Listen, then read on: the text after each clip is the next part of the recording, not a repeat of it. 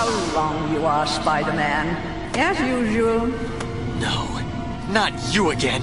I still have something very important for you to do. Have you forgotten that I have been preparing you this long while for the most important battle of your life? I remember all of my encounters with you, Madame Web. I want nothing to do with you. I am tired of you and your riddles and your lessons and your supreme arrogance.